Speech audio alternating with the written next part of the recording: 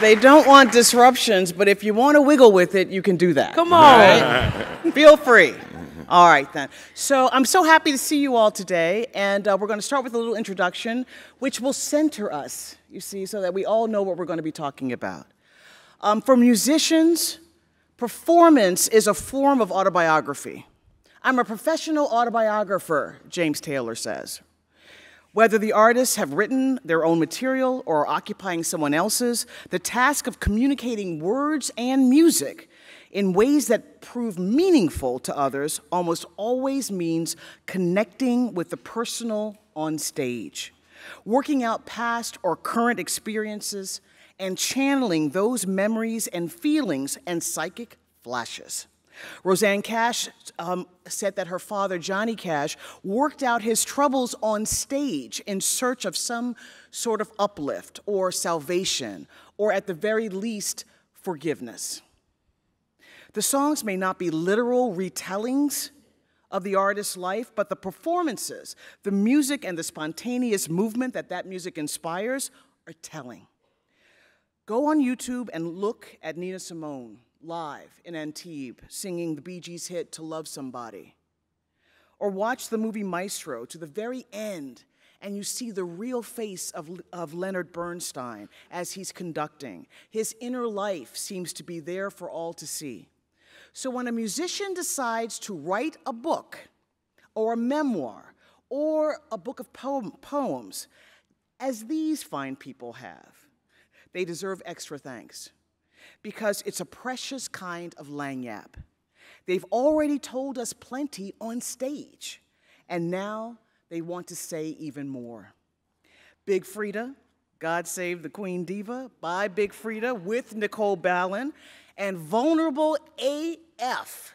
Poems by Tarriona Tank Ball get down to the feel of life in different but compatible ways. Big Freedia and Tank Ball have been frequent collaborators and have shared many other stages before today, and yet today may be different because we're going to talk about the beginning, the middle, and the end of love. Please welcome the recording artist, television personality, uh, Big Freedia. Please, uh, Big Freedia means business on Fuse TV, and ambassador of Bounce uh, Music, Big Freedia. Thank you. Thank you, Gwen.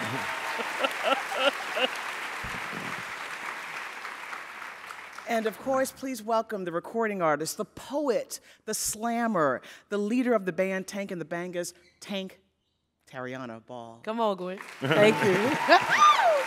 Thank you. So now that I have you in my clutches, okay, I'm going to ask you all kinds of rude questions. But this is not a quiz, you know what I mean? So there are no right or wrong answers, and if you don't want to answer something, we'll just move on, right?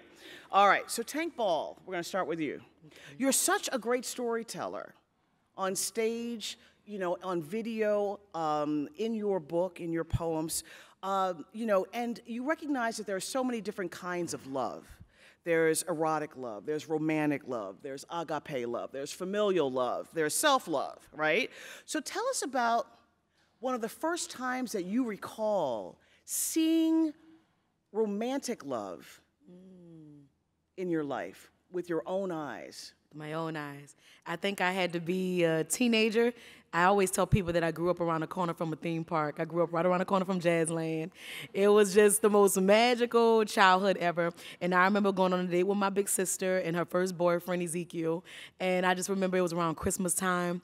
The lights were up, and they were just walking, holding each other's hand. And I was thinking, oh my goodness, this is what love is, and I want, I want that for, I want that too. Yeah. Yes. Oh, that's beautiful. It was really beautiful. Yeah. People don't hold hands anymore. Mm, I like to hold hands. A lot, right? Yes. Well, in your book, your book of poetry talks about um, a love relationship, a love, a romantic love, and um, at the very beginning, I wonder if you capture what you saw when you were a kid, when you, um, in your poems on uh, page 23 and 25 of your book. So I'm hoping you'll give a little reading of those two poems. Let's see. Drumsticks. Okay. His hands are like drumsticks, long, rough, hard, delicate, smooth, rude, passionate. I would break if he touched me. Probably not. Probably not. And what's the next one?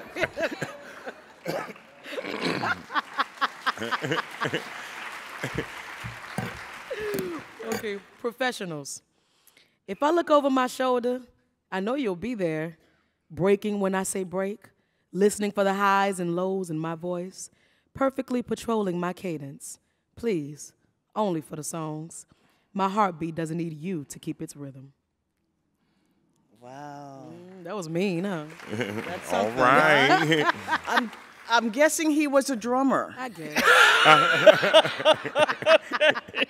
And so, and so, Big Freedia, can you can you remind us of of, of uh, when you felt like you saw romantic love for the first time in your life? Who was it? What did it feel like? What did it look like? What did it smell like? What did it sound Um, like? When I first saw romantic love, it was my mom and my stepdad. I, you know, I woke up with it every day in my household. You know, growing up in a shot bed, uh, shotgun house on Josephine Street, and we had a two bedroom, and we all the kids were in one. It was me, my brother, and my sister, and my mom and dad had their room, and just the passion and love that they had for each other. You know, from the from the love making to the to, to the fighting, we saw it all, and it. You saw the love making? uh, we did. Listen, I used to tell my mama, "Mom, hang a sheet up or something," you know. This was the mirror. The dresser was on the wall, and our bunk beds were like where we can see through a mirror. Girl, it was the worst. That's why your music. it was the worst. I was like, "Ma, y'all are t- traumatizing us." Trauma. she said, "You should be asleep." oh my God. there is a line in the book where, or your mother, Miss Vera, says, uh, "I'm the only one having sex in this house." yes, most definitely. okay. But um, what's interesting about God Save the Queen Diva is that you talk about a series of firsts. You know, you uh, talk about the first time you um, you stood up to your stepfather. You talk about the first time you fooled around with a boy. You talked about um, coming out to your mother, uh, and and and all. And so, can you um, can you share a little bit from your book in a story about a fella by the name of Hockey? yes. That was a that was a pseudonym. yes. um, most definitely. Hockey was was my one of my first loves. For You met him in college? No, I met him actually. Um, I was working at a middle store, which was on Martin Luther King, and I was doing, you know, selling beepers and working the, the night window with, with the store. And so um, I had never been one to flirt. As a gay boy in the hood, I learned early that throwing game at another boy could get me beat down. But at, I was 21 and I was getting tired of being undercover. It was like I was out and everyone knew I was gay. But I was told not to be too flamboyant in my relationship status. I was ignored completely. Somehow courage came over me because I uttered, You so cute, and then added, Here, take this. I slid him a note with my number. Cool, cool, he said, placing a piece of paper into his wallet and walking out the door. Right before the door shut, he turned around and said, I'm Hassan, but they call me Hockey. What's your name? Freddie. I closed that place down thinking of that boy who came in that night with the cute fade haircut. When I got home that morning, I had a little extra skip in my step. every, every time my phone buzzed, I hoped it was hockey. Finally, he called. We talked for hours. When I got off the phone, I realized my body had broken out in a sweat. I had about an hour to sleep before I had a decorating gig for my family down the street. Blowing up red and silver balloons, all I could think of was hockey. When I got home, I called him to come see me tonight. I said by this point, my mom had had started dating with this man Keith. He was a postman, and none of us liked him. he, he it was just his attitude. Like he thought he was too good for my mama kids, but my mama liked him, and that meant she spent a lot of nights away, and it was just me and Crystal and Adam. I never had a guy to come to my house. It was a bold move, but I was one to, to make it ready. There you go. There you go. I know about them little moments. Yes. yes, indeed. There's nothing like first love. Yes, nothing indeed. like it. Oh my goodness. Mama's always dating somebody we don't like. That's true. That's true. And uh, and so Tank, when you um, you know, what I mean, in your book of poems, your poems are really interesting because they're laced with all kinds of flashbacks from your life. It's not just a you know, what I mean, sort of a chronological storytelling experience. You you you play with time in this book, which is really interesting. And you also seem to recognize that we all have a million different time zones within us. Mm. We might be having a conversation, but you and I might be responding to things that actually happened to us a long time ago. You know, there's a lot of wisdom in what you write. And also, can you talk a little bit about time and how you and why you decided to break up time in your story about this relationship? Because I believe that the some of the biggest parts of who I am is definitely related to my upbringing and my sisters. You know, my sisters were there a lot and they gave me a lot of influence and a lot of lessons. And I didn't live a lot of life because they had so many lessons for me from their life. You know, so I was living through them a lot and they just had so much to tell me all the time that I always I recall that when I'm when I'm talking to someone new. You know, how would my sister want me to act? You know, uh, how would I respond? How would they respond? You know, because they put so much inside of me. I think I always wanted to make them proud, even though they obviously weren't the people or the person I was dating. And so you're the youngest child? I'm the youngest girl. You're the youngest girl, and you're the oldest child. I am the oldest. And so, does that does this ring true to you in, in the sense of when you have been in relationships? Do you actually, in your mind's eye, uh, recognize that you are responding when you're talking to someone? You're responding to something that happened to you a long time ago in another relationship, maybe, or in another circumstance. Most definitely. Yeah? Most definitely. Talk more. Well, you know, just me growing up, I've, I've had, you know, several relationships, but, you know, I would always relate back to one of the others, you know, and it will be something that will make me rekindle that, that moment that maybe me and a previous guy had before. You know, I didn't have a lot of guys that I was able to be out with. You know, most of the guys that when I was growing up, it was all undercover guys. They were all straight guys in the, in the hood who maybe had a girlfriend or a baby mama, and so the relationships wasn't out publicly, but it we had a strong connection. They would come sleep at the house. They would be with me all the time, and no one ever knew. You know, it's funny because military strategists always uh, admonish um, nations because they say when nations go to war, they tend to fight the last war. You know what I mean? And not the war that they're actually fighting. Right. And um, so they're using, you know, swords when they should be using tanks. They're using tanks when they should be using, you know, what I mean, ICBMs. They're using all sorts of old tools. And um, and I think that that might apply to relationships too. You are in you were in a relationship with X last year, and when you enter into a relationship with Y, you're using all the same communication skills that you use with X. Can't do that. You know what I mean? But this is Y. Right. Y is different. You know. I mean, some things be different, you know, in, in the relationship and, and things that you try to get the approach. But when you get that same thing that may bring you back to that you had with X, you know, you relate to that same situation. You know what I'm saying? And for me, I've had boys that they always have to be undercover. So all of the relationships kind of it recycled itself and I had to do the same thing. That's true. And so, you know, it's interesting because every, you know, when people think about bounce music, they think it's high energy dance music, they think about the daring of twerk, they think about the eroticism. But I have to say that I think that you channel a lot of, of different experiences into your songs. I do. And so, um, for instance, you know, you've got, um, motherly love going on in your songs. You know, you've got godly love going on in your songs. You know, what I mean, due to your relationship to your church, you've got brotherly love going on, particularly with regard to a song like Platinum. Yeah. You know what I mean, where you're just trying to get people to understand how grateful they sh- we all should be. Yeah, you know what I mean about what all the gifts that we have. But in and then you also sort of demonstrate uh, um, heartbreak. In a song like Crazy, which sounds like you're just really mad, but mad is just heartbreak, Yeah. loud.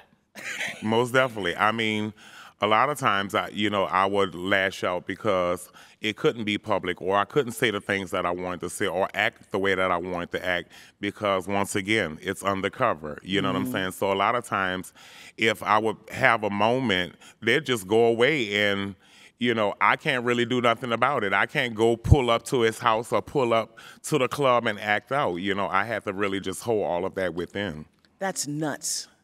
It's just nuts. I mean, you know, you know, relationships are already a fraud, but the idea of having to you know, have a, as they say, the bella figura, the the happy face, you know what I mean, that yeah. uh, behind which, you know, I mean, nobody knows what's happening, is a, it's, it's, it's an awful lot of pressure on an individual. Most definitely. I can recall one time hockey, him and his family was having some issues, and they had got kicked out the project, and so he had um, moved to Atlanta without telling me anything. Yeah. I didn't know where he went, and that was the time when I like lost all the weight because I didn't talk to him. He had no cell phone.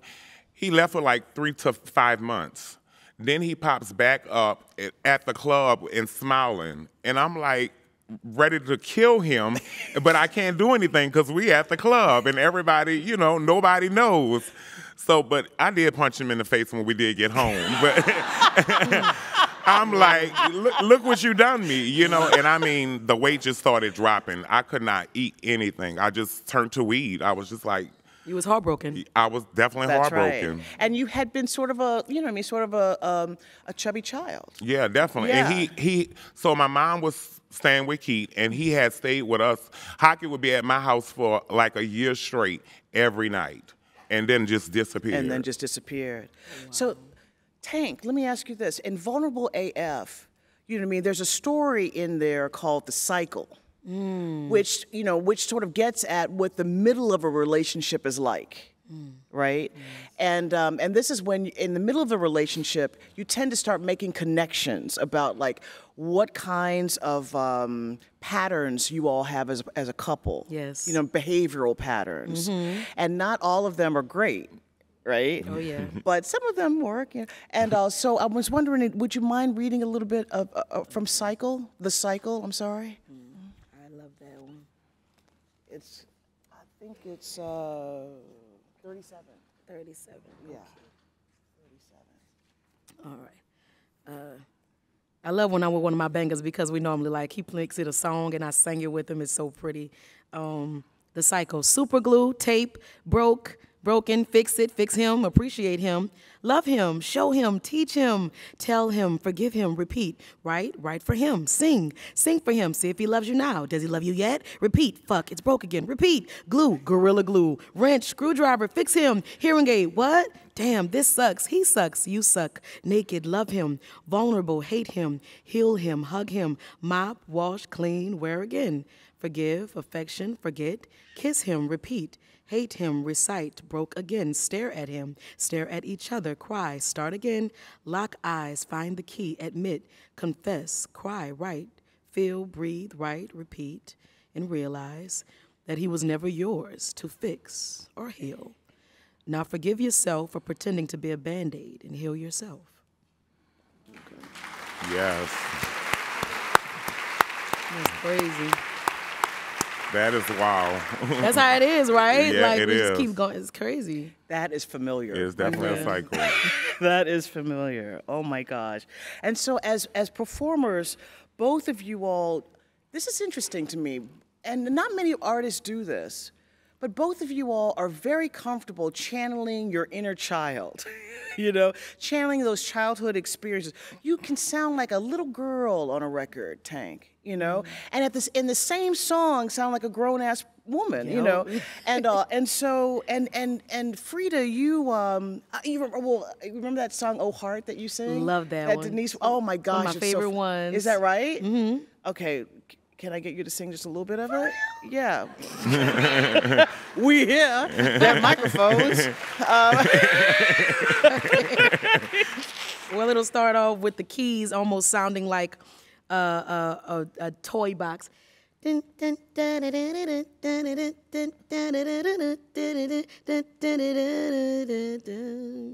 go, I'm a bee and you're a tree on a moon cloud in the sea.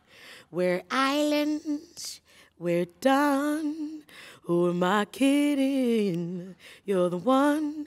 Oh, heart, oh, heart, stop making a fool of me. Now I go, fool, fool, fool, fool, fool, fool of me. Yes. Love that one. One of my favorites. It's so good. It's so good. Thank and, you. And then also, eh, Big Freedia, you know, you, eh, you know, in your la- on your last EP, which I love, BDE, right? And you do, you and Tank do um, Betty Bussett. Oh, yeah. And you do a lot of songs, like with, with Tank, you've done songs with uh, Katey Red, and you know, you you you conjure the, the playground. You know what I mean? As you're uh, Yeah, I talking. mean, you know, I, we wanted to go to different different heights with when we're making our music. We want to go into different memories, and you know, a lot of times I take I go back to my childhood. That was such an a fun time growing up, especially in New Orleans, and just making music and seeing all of the creative people that I was around musically. Um, it allows me to be able to, you know, step into all those different areas, especially gospel. You know, I'm actually working on my new gospel album. Is that right? Yes. Oh, that's wonderful. That's wonderful. You give me middle school. Uh-huh. You give me middle school and high school vibes. Yeah, Like most- not elementary, but like middle school, like Oh, oh yeah, we was beating on the walls. Yeah. like total middle school vibes when because everybody thinks that high school is really important. It's really middle school. That's right. That's Yeah. when the That, hormones oh are really my lord, at their that's when you really get challenged. I feel like, and that's when certain conversations come into play, certain sexuality comes into play, and it's just um, you're really trying to find yourself in high school. I feel like you coast a little more than you did with the rockiness of middle school. Most definitely. Yeah, I mean, middle school teachers are like angels. I mean, I don't know how they handle it because of all the uh, the hormones they're dealing with in one classroom. You know, Fifth graders.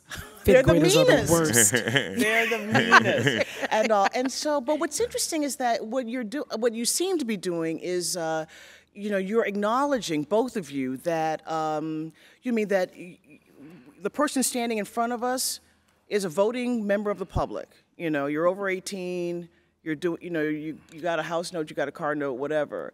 But that you're always going to be that little young person at the same time, right? And and which is the thing that you you know can reveal to a you know to a lover essentially, you know, and um, and all. And so, do you remember uh, Betty Bussett? That's not a love song, but do you remember that song? Betty Bussett. Of course. How did you come up with that song? And do you remember any lines from it? um, Hint, hint, hint, hint. Betty Bussett. So, uh, as I was thinking of just like creating the album for BDE, we just was, um, you know, I wanted to pay homage to you know some black women that, you know, were in the game back in the G, and um, Betty Bussett actually is one of those songs that that that pays homage to, you know. Um, And you spoke about Esther. You, Yeah, I spoke you about educated me about that. I didn't even know that Betty Boop was originally a black woman. Yeah, Betty Boop was originally a black woman, and so we wanted to, um, you know, talk about Esther, and so that's how Betty Bussett came into life. And Mm-hmm. you know, I just felt good going back to back to once again childhood. You know, seeing Betty Bu- Betty Boop on TV and all of that. And when I found out the history, I was like, well, we're gonna do something about that. You That's know. pretty good. That's And the video was so cool. We all had our finger waves in and our, you know, our big feathers. We Yeah, channeled we- the time. we had a it good was time with the very video. Harlem Renaissance. Yeah. it was very Harlem Yeah, Renaissance. it It's was. true. Do you remember any of the melody? Uh-huh. you don't remember? Now, come on, you know what you did. Not offhand right now. yes, you do. I- Can you breathe on your own? Okay, cause the beat got me going. When shoulders, knees touch your tail, babe. Betty, bust it down, bust it down, bust it down. Oh yeah. Here's a little story about a Betty named Betty. That's it. Uh-huh. you know I remember Big Gwen. See? What's that line? huh? What did you just say? Here's a little story about a baddie named Betty. Betty about a bag and a bag is never empty. Blowing budgets on these bitches because these bitches keep you busy. Yeah. oh my gosh! And so, Tank, you um, You know, I mean, your poems begin with the end of love. That's how the book begins, with the end. And your book is dedicated to the boy with the deepest mud, puddles, that I've, ever stepped, in. Yes. Which is such a great line. huh? it's so you know, again, you're like an adult, but you're like a little kid too. Isn't it know? crazy? And uh, and so, um, what made you want to go public with this story? Not in song, I know, right? But on the page, which you know lasts a long time. Yes. It took a couple of things to come to that place. Number one, I never ever intended for this to come out to the public. This was just for him. I wrote it for him. I gave it to him. And I was like, I want you to know that someone loved you, somebody cared about you. And I also want you to know how you made me feel. And um, so it was his for years. And then when COVID happened and everybody was just, you know, nothing to do. I think my best friend was like, Tank, I think it's time for you to put your book out. And I, I asked for his blessing, and it went from there. Really? Yes. Wow. So that's very interesting. That it was a personal. It was it was a sort of a missive. It was sort of a, a letter of poems mm. to someone that you ultimately decided to share with everybody else. Yes. Do you regret it? No, not at all. Don't. I mean, number one, it's amazing. First of all, everybody has these feelings, and even and and and, what we're Freedia and myself, I think, are so lucky to do is give people's words feelings, give their give their feelings words, because everyone they don't know what to say, and I just think that God has blessed us in such a way that we're able to express it, and um, you can give this to somebody else. People have told me, men and women, that they relate to this book so much. I never expected anyone to relate to it, and I don't know why people think that if you have a blue check that you are not going through heartbreak or feeling played. You do. And it's also very amazing when your pain can give you a paycheck. So great. Well, there you go. There you go. yes, it is. I can second that motion. Yeah. Did you feel that way when you wrote your memoir, Freedia? Did you feel like uh, like this was the right thing to do? Do you regret anything that you put in there? Would you have liked to have put something else in? Um, there's so much more that could have went in um, because there was so many dis- details to everything that's for every chapter, and it, it just was not. You know, the book would have been, I mean, an encyclopedia book. You know, um, but um, you know, my next book will probably tell. You know, Are you working on your next book? well, I'm working on the kids' book right now. You're doing your children's yeah. book. So after the kids' book, then we'll probably go back to another memoir. It's really interesting. Um, you know, it would be interesting also as a stage play, to be honest with you. You mean some of the the stories that you talk about. Some Oh yeah, we are working on that as a play, and um, where we're actually trying to turn it into a movie. Oh boy. Yeah. Are you going to play you? Well, I, I plan to play me at a certain point. Can I play me? of course. okay. All right. Well, Freedia, you know, uh, your relationship with hockey ended. And um, as some relationships do, at least the earthly aspect of it ended because he died unexpectedly, he died violently. yes. And, um, and, and you have a scene in that book where you talk about going to the funeral. Would you like to share it with us? Sure. Hockey's funeral was at a church in the Ninth Ward, but I can't recall the name. It was all kind of fog. I went numb as I prepared the lilies and carnations for the service. Even more painful, I felt like a total stranger as I walked into the church that day. No one knew who I was, but I was but I was hockey's first love, his real love, a secret he had hidden from all for all those years. As I searched the place of an empty seat, a woman in the front row turned around and stood up. As soon as our eyes met, I recognized hockey nose and eyes. It was his mama. Freddie, she said, her with her swollen eyes. I nodded instantly, shocked that she even knew who I was. Come here, she said, waving me over the same hand grasping tissue. I walked over tentatively, wondering how she knew me and what she knew of me. Sit here, she said, pointing to the seat next to her. I stepped past some people already seated and took the spot by Hockey's mom. We hugged but said nothing. There was, no, there was nothing to say. I sang along to Pass Me Not, O Gentle Savior, and Amazing Grace, hoping the song would bring me to some peace. But at the end of the service, Hockey Mom turned to me and said, He love you, Freddie. Thank you, I said, trying to stay co- composed. When the service was over, I went to the repast. When it was time to leave, I got into my car, leaving my head leaning, leaning my head on the back seat as our, our flooded tears started streaming down my face. I thought this might be impossible to get over.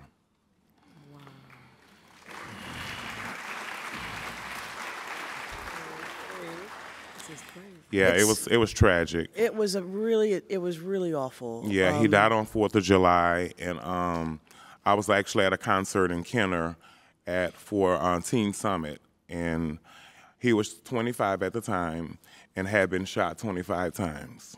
Yeah. I'm very sorry. You know, I mean, every time I read that passage, it's it it's it communicates so much. A, the fact that this was first love and you were always going to remember it. B, the ending you will never forget. C, that that hockey is going to be young forever in your mind Most definitely. and he's going to be uh, like a locket that you're going to carry around with you for the rest of your life, you know, in amber. And, um, and so, you know, these kinds of situations are most, um, become most um, revelatory at, at, unfortunately, in moments of tragedy where hockey's mother recognizes you as the love of his life. He did. and uh, and she she knows. You you didn't think she would know and maybe even hockey didn't think she would know. But people know. Yeah, she knew. just like you all when you were noticing first love when you were children you knew Well, without definitely. anybody ever saying to you we're in love you know it you know when your child is in love you know when My your mama best knew friend's all in kind love of stuff, and I was I was like, how she even know that?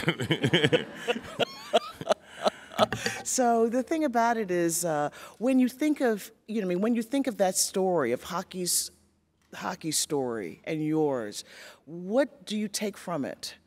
Um, what do you take from it?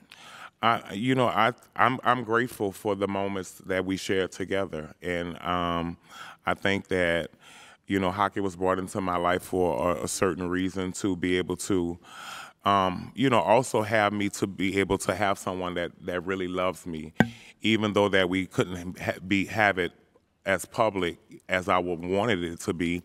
Um, we shared a lot of great moments. We we talked a lot.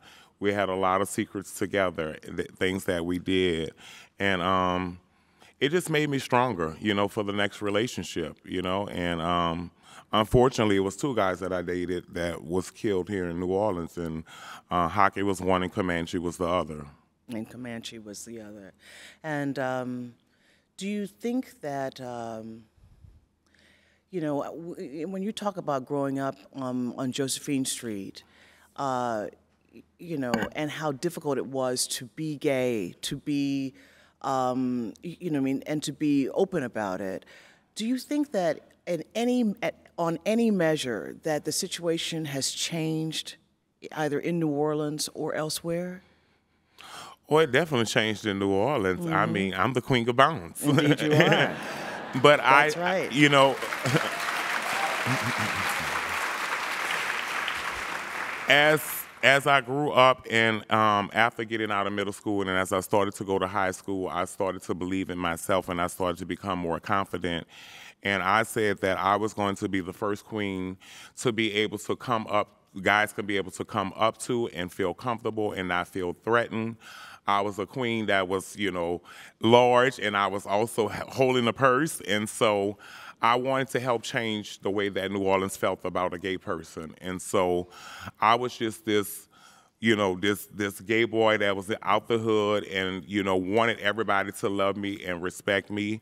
And I fought for those rights, you know, my whole time growing up. In high school was where I started to figure out how to to train the people that was around me to respect me and to love me and that I'm not backing down. And so, but if there's a if there's another Freddie Ross Jr.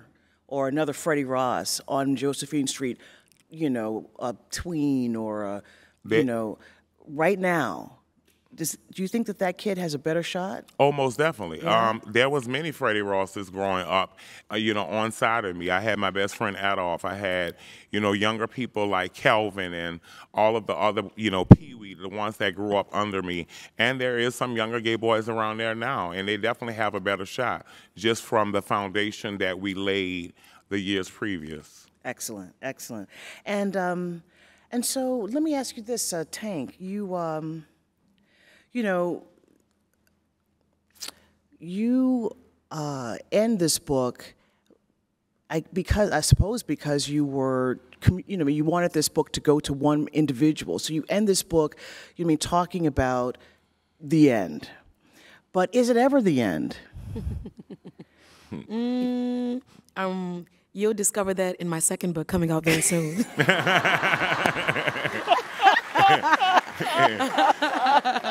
The end is the new beginning. I will, I will, I will say the the the, the title to you guys because I've never said the title to anybody. But I'm currently working on the thing about falling.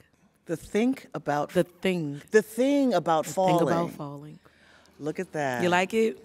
You heard it here first. You heard it here Let's first. Tank. Thank you. oh my goodness. And so in, in the end, you know, when you look back at this at this relationship with your drummer, when you look back at this relationship I didn't say my drummer. I said a drummer. Oh, I'm so sorry. I am very sorry. When you look back at this relationship with a drummer, um, and and you look back at this relationship with uh, hockey, was it worth it? Most definitely. Some days I wonder. Definitely, I wonder because I mean, I mean, who, you know, come on, like who wants to go through all of these things? But I, the only thing that honestly keeps me like knowing that it was is because I wrote the poems and I wrote the songs that help other people today, mm. and that's when I say, okay, if I never would have went through that experience, I would never have Oh Heart, I wouldn't have Walmart. I wouldn't have boxes and squares. I wouldn't have my books. So it was supposed to help somebody else. It just really just it just was. Mm. And so your your autobiographies continue then, not only on on the page but on stage as well, because you know just as we were I was saying in the beginning, you know the stage is such an opportunity to work out Yes. so much that's going on in your mind. You know, talk about that. You made me thinking directly about Freedia because I'm like, you do not want to go to a show and Freedia's pissed off. You about to get, you about to get all his business. he gonna tell you everything. You didn't pay the rent this month. Yeah, like, Well, see, I think that the hockey relationship prepared me for the Devon relationship. You know, I was so undercover in secret so long, and then when I, you know, found this boy who I was able to be out and about with, and the world knew, you know, it. I think the undercover relationship helped me to prepare for this relationship now that is, you know, known by the world, and. um That can't I- be easy though. Yeah, that it- can't be easy. No, I mean, if but everybody I, knows I who think your it gave me paramour that is. balance. You know what I'm saying? It gave me a, a sense of balance, being that I was undercover for so long, and then once I got to Devon, I was like, I am not doing this no more. I am. I'm about to tell everybody. you know, and so it kind of forced me to like stand up and, and step out. It forced you into the sunshine. Yeah. Yeah. And so you were saying, Tank. you definitely get to exercise those demons. Definitely, um, you get to cry. You get to be so vulnerable, and you get to dance. You get to laugh, and it's so crazy because you're in a room full of strangers. But at that moment, you tell them things that you couldn't tell someone that you've loved for years. And I don't know where that strength comes from, or that honesty, or that vulnerability. But you feel that with that microphone. It's just, it's something about it. it it's, it's a power. It's a, it's a powerful moment. Um, and it, and it feels amazing to get to share yourself with people in that very special way. Oh boy. Well, I tell you, I want to leave it there because it's, uh, you know, it's the truth what you're saying and all. But it is interesting because I remember years ago talking with Tony Bennett, and uh, and he was saying how, uh, you know, you may sing the same songs every night, but they don't hit you the same way every night. They don't. And you may find meaning in one song that you didn't find the night before. Mm-hmm. And you may find, you know, no, you know, I mean, you might gloss over something that was quite important to you yesterday. Yes, You know, and all. And so, what? Uh, leave us with um, with a a song that you sing. That you that that you enjoy singing because it, it, it helps you on stage. It helps your mind. It helps your heart on stage. Something that you've done and something that somebody else has done that you love. A song that helps me on stage. I mean, all of them help me, honestly. Yeah. Um, but Gin in My System is just such a it's say just that. such a great song. I mean, growing up and just you know being able to to to go back to that old feeling when I was a kid and when I made the song and just the things that were happening around in my life and um, everybody just was so happy and we were just we were just having fun. Just you know, it's it's just not like that anymore. So that song still brings me a lot of joy when I'm on stage. Because it's nostalgic for you. Yeah. Okay. But it's also, it seems like it must be safe for you too. It brings you back to a safe place. Oh, most definitely. Yeah. When I was growing up and, and when I first started the music. Mm-hmm. And so it brings me back to that that beginning. Uh, Yeah, because a lot of people say going on stage is it's it's it's, it's very anxiety producing sometimes. It can But, be. Yeah, so when you start with Gin in my system. At, at that safe place, this is where I come from. This is when I was happy. Yeah. And I'm going to communicate that. That's amazing. And so, okay, be thinking about a song that somebody else sings that you want to tell the people about, right? Because they want to walk away knowing something that they can tell their friends at their dinner table tonight, right? Okay, so what about you, Tank? I mean, Tank, yeah. so many. Which one of your songs? I love a lot of my songs. Uh, well, I then, really you know, it's free country. But You can tell lately. Yeah. since I have been on tour, the Think Tank tour, which is Tank and the Bangas' first album, you know, which won all these hearts from Tiny Desk. We just did that tour, and just singing theme parks now, like in this particular space in my life where you know I am embracing love. It just feels, it hits, it hit different. It hit different now. I was like, ooh, singing this feels just beautiful. It feels, it feels godly. It just, What- what are the amazing. words? Oh, stop. Go listen. Theme parks um, available online. Well, that's true. That's true. No, no, you don't have to sing it, but just tell us a few of the lines. Oh man, it's like you are a beautiful surprise, and I'm gonna leave it right there. Oh, beautiful surprise. Yes. Okay. So, and, and something that um you know I always listen to. I mean, I uh, one of Luther Vandross, "Here and Now" is one of my favorite songs. Um, Beautiful. And um, Mama got married off that song. yeah, and I plan to get married off it one day if I ever get married. And um, stay tuned. How about a- Huh? Yeah. Here- yeah, but that's "Here a and Now" beautiful is, song. it is. And so, what about you, Tank? I'm gonna have to go to Stevie Wonder almost anything because my dad used to sound like Stevie Wonder, and every time he he he's on the radio, I say, "Oh, Daddy here, Daddy here, Daddy listening, or Daddy approves, or Daddy got a message for me," and it's always at the perfect time that Stevie is playing. So um, it's gonna be everything by Stevie Wonder. Oh my goodness, that's pretty wonderful. pretty wonderful. Well, I tell you what, I, I'd, I'd love for us to um, talk even longer, and we'll um, maybe we'll have another opportunity sometime soon With our both new of books. And all, but I um, but I, I want to congratulate you both on your books. They're amazing books. Thank you and so uh, much, thank you, Gwen. Tarriona Tank Ball, um, who is the author of uh, Vulnerable AF, a book of poetry. And, uh, and also Big Freedia, who is the author of Big Freedia, God Save the Queen Diva, along with, uh, with uh, Nicole Balin. And uh, thank you so very much for joining us Thank today. you. At Thank you. Thank you all. Thank you. Thank you. Look at my mama. hey, mom. Appreciate y'all. Thank you.